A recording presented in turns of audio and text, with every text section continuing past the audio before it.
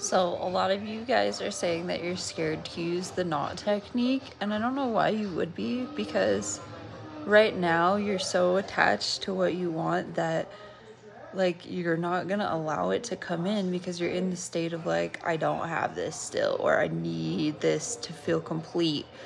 And you don't have to say like I'm not going to see them or I'm not going to have the money. You can just say, I don't need it. Oh, I love that. I love this affirmation or like, I love it.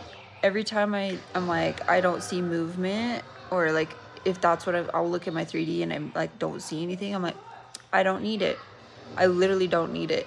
And because like you keep showing up in that way that's living in the state of somebody that doesn't need to see movement. And why don't you need to see movement?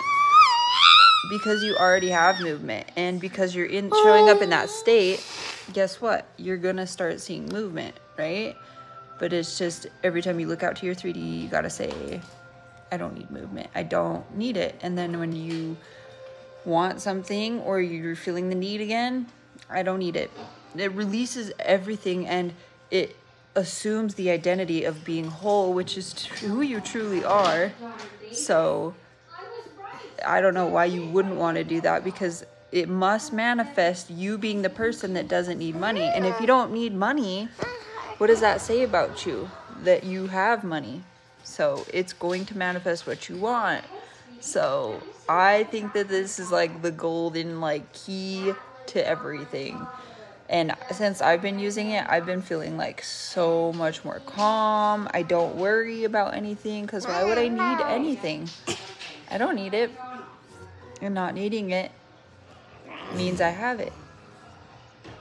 So try that. You don't have to say I don't I don't I don't want it anymore. You don't have to say I'm not going to get it cuz that kind of sounds to me like mm-hmm. resistant and weird and you can say that if you want but I, I feel like that would cause more resistance and like make you stressed out. But if you, if you don't need it it feels so much better. It feels freeing not to need something like that. Like pining over something wanting something so desperately and never seeing it. Instead of i don't need it because you don't. Just keep saying it.